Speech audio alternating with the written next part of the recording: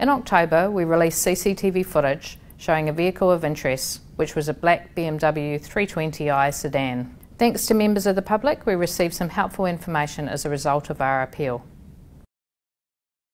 We're now releasing CCTV footage which tracks the BMW from Favona through Otahuhu to Otara all the way to Flatbush. Here we see the BMW heading south on Great South Road.